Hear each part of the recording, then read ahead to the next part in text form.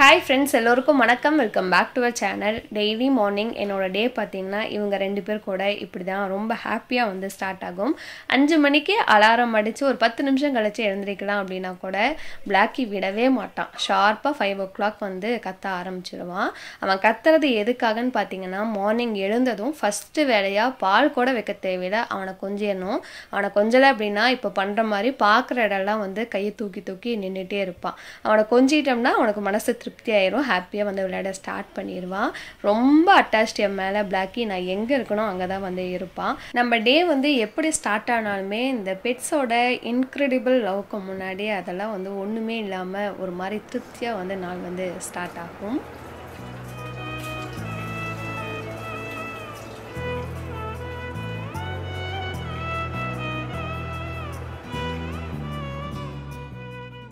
So அஞ்சு மணிக்கு எழுந்தனா அவங்க ரெண்டு பேர்த்தோட வேலையை முடிக்கவே ஒரு அஞ்சேகள் ஆயிரும் அதுக்கப்புறம் ரெஃப்ரெஷ் ஆகிட்டு ஸ்கின் கேர் ரொட்டீன் முடிச்சுட்டு ஒர்க்கை ஸ்டார்ட் பண்ண ஒரு ஃபைவ் தேர்ட்டி வந்து ஆகிரும். Skin care routine video next வ்ளாகில் வந்து கண்டிப்பாக நான் ஷேர் பண்ணுறேன் மார்னிங் நைட் ரெண்டுமே ஒரே ரொட்டீன் தான் ஃபாலோ பண்ணிகிட்டு இருக்கேன் ஃபஸ்ட்டு எழுந்ததுமே பார்த்தீங்கன்னா அரிசி வந்து ஊற வச்சிருவேன். ஒரு அரை மணி நேரம் ஊறினா தான் சாப்பாடு வந்து நல்லா வரும். நைட்டே வந்து என்ன குழம்பு பொரியல்னா பிளான் பண்ணிட்டேன். ஸோ தட்டைப்பயிரும் கத்திரிக்காயும் போட்டு குழம்பு வைக்கலாம் அப்படின்னு வந்து நைட்டே தட்டைப்பயிரை வந்து ஊற வச்சிட்டேன். இது வந்து வந்து காராமணின்னு கூட ஒரு சிலர் வந்து சொல்லுவாங்க. ஸோ ஒரு எட்டு மணி நேரம் நல்லா ஊறினதுக்கப்புறமா ஒரு ரெண்டு மூணு டைம் வாஷ் பண்ணிவிட்டு உப்பு தண்ணி போட்டு இது வந்து ஒரு ஆறு ஏழு விசில் விட்டால் சரியாக இருக்கும். அண்ட் இதுக்கு தொட்டுக்க பார்த்தீங்கன்னா சின்ன உருளைக்கிழங்கு பேபி பொட்டேட்டோ ஃப்ரை பண்ணலான்னு வாங்கிட்டு வந்து வச்சுருந்தேன். ஸோ அதுவுமே இன்னொரு குக்கரில் போட்டு விசில் வச்சுட்டேன். இது வந்து ஒரு மூணு டு நாலு விசில் வந்தால் கரெக்டாக இருக்கும்.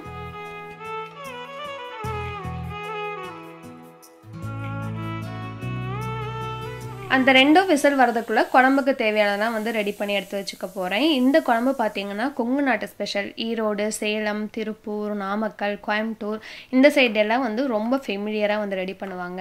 இன்றைக்கி எங்கள் அம்மா எப்படி செய்வாங்கங்கிறத ஷேர் பண்ணுறேன் எனக்கு இந்த குழம்போட மிளகு தக்காளி கீரை பொரியல் வச்சு சாப்பிட ரொம்ப பிடிக்கும். என்னோடய ஃபேவரட் ஸோ தட்டைப்பயிர் வெந்ததுக்கப்புறமா குக்கர்லேருந்து மாற்றிட்டு அதே குக்கரில் சாப்பாடு வந்து வச்சுட்டேன். இப்போ குழம்பு எப்படி ரெடி பண்ணாங்கதை பார்க்கலாம். கொஞ்சம் பொருளாக வந்து வதக்கி அரை அரைச்சி வந்து செய்ய போகிறோம் கடையில் கொஞ்சமாக எண்ணெய் விட்டுருக்கேன். ஒரு டீஸ்பூன் சீரகம் மிளகு ஒரு ரெண்டு மூணு வெந்தயம் ஒரு பதினஞ்சு சின்ன வெங்காயம் நாலஞ்சு பல் பூண்டு ரெண்டு துண்டு வந்து இஞ்சி.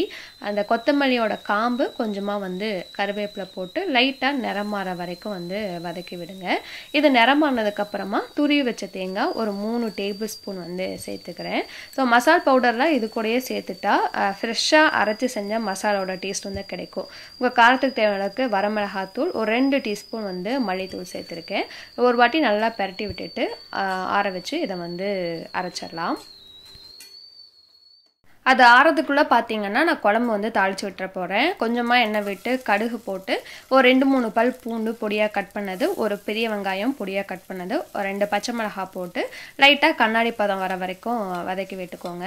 நான் கத்திரிக்காய் போட்டு செய்யலாம்லாம் நினச்சேன். ஆனால் பார்த்தீங்கன்னா வீட்டில் கத்திரிக்காய் இல்லை.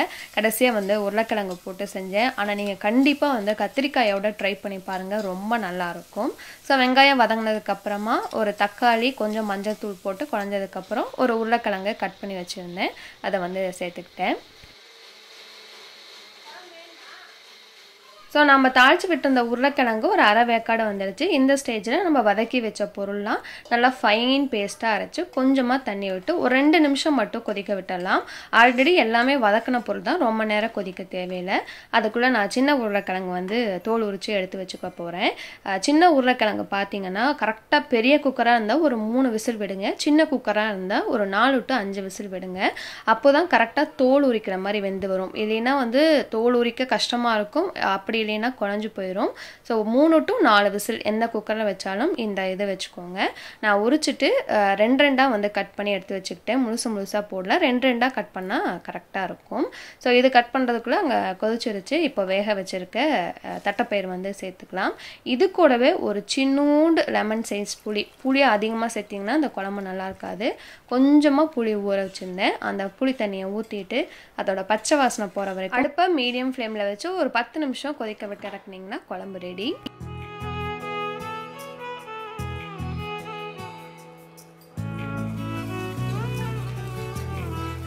இப்போ இன்னொரு சைடு அடுப்பில் உருளைக்கிழங்கு வந்து ஃப்ரை பண்ணிக்க போகிறேன் ரொம்ப ரொம்ப சிம்பிளான ஃப்ரை ஒன்றுமே வேலை இல்லை. ஒரு ஃப்ளாட்டான கடாயை எடுத்துக்கோங்க. அப்போ தான் நல்லா ஈவனாக எல்லா உருளைக்கிழங்கும் ஃப்ரை ஆகி வரும். தேவையான அளவுக்கு எண்ணெய் விட்டு கொஞ்சம் மஞ்சள் தூள் தேவையான அளவுக்கு வரமிளகாத்தூள் போட்டு அதை லைட்டாக வந்து பொறிஞ்சதுக்கப்புறமா உருளைக்கிழங்கு சேர்த்து தேவையான அளவுக்கு உப்பும் போட்டு நல்லா வந்து டோஸ்ட் பண்ணி இறக்கிட்டிங்கன்னா உருளைக்கிழங்கு ஃப்ரை வந்து ரெடி எதுவுமே வந்து போட தேவையில்லை. ஸோ வேலை பார்த்துட்டு இருந்தேன் பாப்பா ரெடியானனால குக்கர் குக்கர்லேருந்து சாப்பாட்டை ஹாட் பாக்ஸை மாற்றி வச்சு அந்த வேலை பார்த்துட்டு இருந்தா. ஸோ இந்த மாதிரி அடுப்பை வந்து மீடியம் ஃப்ளேமில் வச்சு டோஸ்ட் பண்ணி எடுத்தீங்கன்னா இந்த உருளைக்கிழங்கு ஃப்ரை வந்து செம்ம டேஸ்ட்டாக இருக்கும். இதை விட தயிர் சாப்பாட்டுக்கு வந்து இது சூப்பரான காம்பினேஷன் ட்ரை பண்ணி பாருங்கள் ஸோ குழம்பு ரெடி ஆயிடுச்சு. பாப்பா அதெல்லாம் போட்டு வச்சுட்டு சாப்பாடு போட்டு வந்துட்டா. பிரேக்ஃபாஸ்ட்டுக்கும் வந்து சாதம் இந்த குழம்பு தான் வந்து சாப்பிட்டு போனான் இப்போ கடைசியாக வந்து குழம்புல கொஞ்சம் கொத்தமல்லி தலை தூவி இறக்கிடலாம். அந்த சைடு பார்த்தீங்கன்னா உருளைக்கிழங்கும் வந்து ரெடி ஆயிடுச்சு. உடனே வந்து கடாயிலேருந்து ஒரு கப்பில் வந்து மாற்றி வச்சிட்டேன். எப்போதுமே காஸ்ட் அயன் அயன் பாத்திரத்தில் செஞ்சோம்னா ஒரு ஒரு மணி நேரத்துக்குள்ளே வந்து மாற்றி வச்சிடணும். இல்லைன்னா வந்து தூரு பிடிக்க ஆரம்பிக்கும். ஃபஸ்ட்டு வந்து சீசன் பண்ணுற மாதிரி வேலை இருக்கும். நான் உடனே வந்து மாற்றி எடுத்து வச்சிட்டேன்.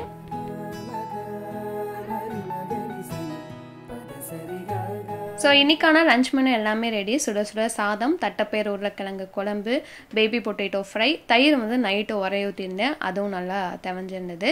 இந்த குழம்பு வந்து இட்லி தோசையோடவும் ரொம்ப நல்ல காம்பினேஷன் கண்டிப்பாக இந்த மெனு வந்து ட்ரை பண்ணி பார்த்துட்டு எப்படி இருக்குன்னு சொல்லுங்கள் நான் பாப்பாவோட லஞ்ச் பாக்ஸ்க்கு வந்து போட்டு ரெடி பண்ணிக்கிட்டேன். தயிர் எதுக்கு கொடுத்து விடுறீங்கன்னு கேட்குறீங்க எந்த சாப்பாடாக இருந்தாலும் தயிர் இருந்தால் கொடுத்து விட்டுருவேன். அவள் வந்து அதை அப்படியே ஸ்பூனை வச்சு சாப்பிட்டுக்குவா. அது உடம்புக்கு வந்து ஹெல்தி தானே. ஸோ பேக் பண்ணிவிட்டு அவள் கிளம்பிட்டா.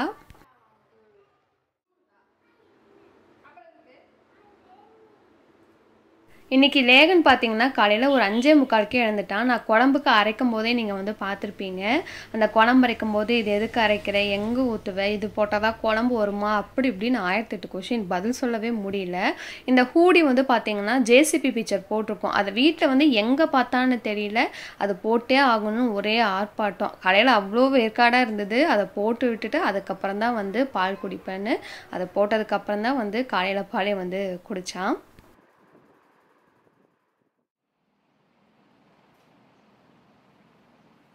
ஸோ நிறைய பேர் நியூ ஹோம் அப்டேட் கேட்டிருந்தீங்க. ஆல்மோஸ்ட் எல்லா ஒர்க்குமே வந்து முடிஞ்சுது. கிச்சனுமே எனக்கு பிடிச்ச மாதிரி சூப்பராக வந்து அவுட்கம் வந்திருக்கு. நான் இன்னொரு வீடியோவில் வந்து உங்களுக்கு ரிவீல் பண்ணுறேன் முந்தின நாள் டைல்ஸ் ஒட்டினாங்க. அத்தை வந்து மார்னிங் க்ளீன் பண்ணி விட்டாங்க. லேகன் நான் ஹஸ்பண்ட் மூணு பேர் வந்தோம். லேகன் மறுபடியும் வந்து நடந்தனால மண்ணாகிடுச்சு. அவங்க ரெண்டு பேர்த்தையும் அனுப்பிவிட்டு நான் வந்து இன்னொரு வாட்டி மாப் போட்டு விட்டுட்டு போனேன்.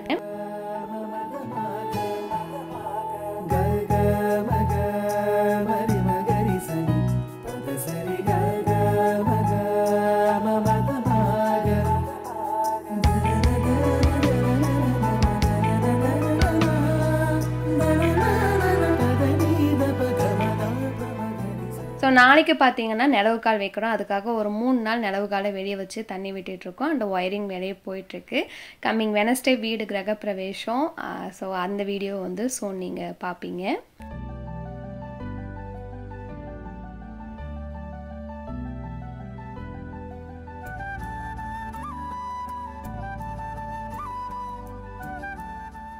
ஸோ மார்னிங் புது வீடு வந்து கொஞ்சம் க்ளீன் பண்ணி விட்டதுக்கப்புறம் இங்கே வந்து பார்த்தீங்கன்னா யூஸ்வலாக தேர்ஸ்டே பண்ணுற க்ளீனிங் ஒர்க் எல்லாமே வந்து முடிஞ்சுது. கிச்சன் க்ளீன் பண்ணிவிட்டு ஃபஸ்ட்டு வந்து ஃபுல்லாக மாப் போட்டு விட்டுட்டு நானும் வந்து ரெஃப்ரெஷ் ஆகிட்டேன் டைம் பார்த்தீங்கன்னா ஒரு சிக்ஸ் தேர்ட்டி இருக்கும். அரிசி வந்து ஆட்டிடுறேன் அப்படின்னு வந்து ஊற வச்சுருந்தேன். ஸோ ஃபஸ்ட்டு வந்து அதை போட்டு விட்டுட்டு அதுக்கப்புறம் தான் வந்து தொடச்சி விடுறதெல்லாம் வந்து தொடச்சி விட ஸ்டார்ட் பண்ண போகிறேன்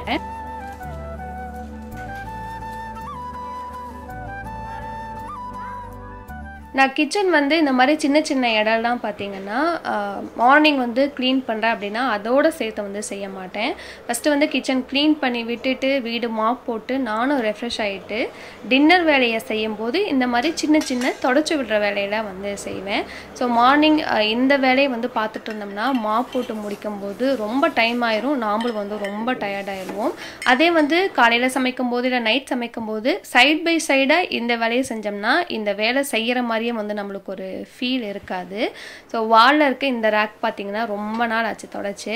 அதை தொடச்சி விடலாம் அப்படின்னு வந்து எல்லாத்தையும் எடுத்து தொடச்சி விட்டுட்டு இருந்தேன். இது ஃபுல்லாகவே வந்து பீங்கான் தான். இது ஆல்ரெடி நான் எப்படி வந்து செட் பண்ணேன் அப்படிங்கிறத ஒரு வீடியோவில் வந்து காமிச்சிருக்கேன். கார்ட்ஸில் கொடுக்குறேன். தேவைப்பட்டால் வந்து செக் பண்ணி பார்த்துக்கோங்க. ஸோ ஃபுல்லாக வந்து தொடச்சி வச்சுட்டு எல்லாம் அரேஞ்ச் பண்ண ஸ்டார்ட் பண்ணேன்.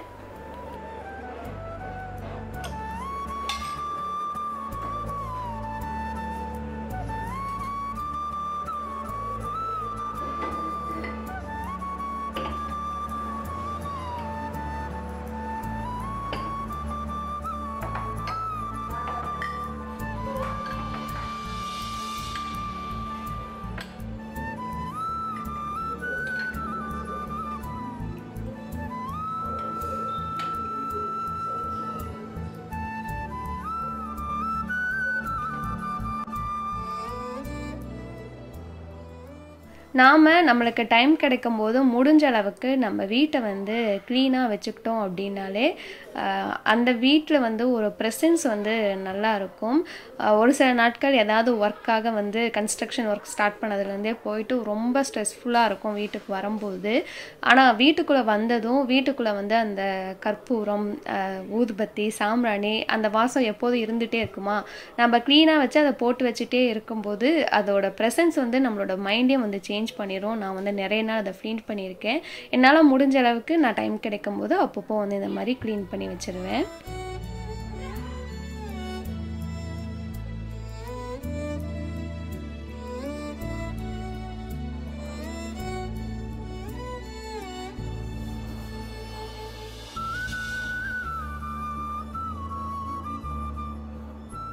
ஸோ ஒரு தேர்ட்டி மினிட்ஸ் தான் எனக்கு ஆச்சு. எல்லாமே க்ளீன் பண்ணி விட்டுட்டேன். அதுக்கப்புறம் வந்து பால் காய வச்சுட்டு எனக்கு ஒரு கப் காஃபி வச்சு குடித்தேன் நான் இப்போ வந்து சுத்தமாகவே வந்து சுகர் ஆட் பண்ணுறதை வந்து அவாய்ட் பண்ணிட்டேன். வெறும் காஃபி பவுடர் போட்டு மில்க் வந்து ஊற்றி குடிப்பேன். ஏன்னா டயட் அப்படிங்கிறது ப்ராப்பராக ஃபாலோ பண்ண முடியலனாலும் என்னால் முடிஞ்சதை வந்து நான் ஃபாலோ பண்ணிகிட்ருக்கேன் ஸோ எனக்கு காஃபி போட்டேன். லேகன் வந்து ஸ்நாக்ஸ் எதாவது வேணும்னு கேட்டான்.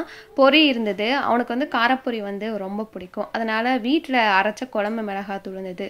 அதுவும் கொஞ்சம் உப்பும் போட்டு லைட்டாக வந்து பெரட்டி கொடுத்து ஒரு கப்பில் போட்டு கொடுத்தேன். ஒரு கால் மணி நேரம் என்னை டிஸ்டர்ப் பண்ணாமல் அவன் பாட்டுக்கு அமைதியாக உட்காந்து சாப்பிட்டுக்கிட்டான்.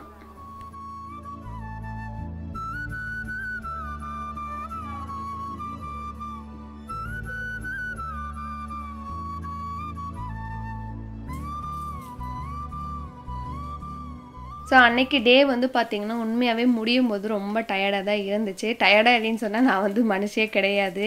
யாராக இருந்தாலும் வேலை செஞ்சால் டயர்டாக தான் இருக்கும். ஆனால் மனசுக்குள்ளே வந்து ஒரு திருப்தி இருந்தது வீடு க்ளீன் பண்ணதுக்கப்புறமா இந்த மாதிரி டயர்டாக இருக்க டேஸில் ஆல்ரெடி சொல்லியிருக்கேன். ஒன்றா அரிசிம்பருப்பு சாதம் இல்லைன்னா தக்காளி சாதம் செய்வேன். அந்த ரெண்டுமே லைஃப் சேவியர்னே சொல்லலாம். வித்தின் ஒரு டென் மினிட்ஸ்க்குள்ள எல்லாத்தையும் கட் பண்ணி நம்ம வந்து ரெடி பண்ணிடலாம். அரிசிம்பருப்பு சாதம் புது மெத்தடில் வந்து ட்ரை பண்ணியிருந்தேன். இதுவுமே ரொம்ப நல்லா வந்திருந்தது. இன்னொரு வீடியோவில் ஷேர் பண்ணுறேன் எந்த பொருளுமே வந்து அழைக்காம அப்படியே எல்லாம் குட்டி குட்டியாக கட் பண்ணி தாளிப்பு எல்லாமே முழுசாக போட்டு செஞ்சிருந்தேன். ஸோ இந்த வேலைகளுக்கு நடுவுலேயே பார்த்தீங்கன்னா அரிசி ஆட்டி எடுத்து வச்சிட்டேன். எனக்கு பிடிக்காத ரெண்டு வேலை ஒன்று வந்து துணி மடிக்கிறது இன்னொன்று அரிசி ஆட்டி எடுத்து வைக்கிறது. இருந்தாலும் கஷ்டப்பட்டு முடிச்சு எடுத்து வச்சாச்சு. அதுக்கப்புறம் நானும் டின்னர் சாப்பிட்டேன். தக்காளி தொக்கு தயிரோட சூப்பராக இருந்தது. இதோட இந்த vlog வந்து முடிச்சுக்கிறேன். கண்டிப்பாக யூஸ்ஃபுல்லாக மோட்டிவேட்டிங்காக இருந்திருக்கும்னு நினைக்கிறேன். இதே மாதிரி இன்ட்ரெஸ்டிங்கான இன்னொரு vlogல வந்து மீட் பண்ணலாம். தேங்க்ஸ் ஃபார் வாட்சிங் பபாய்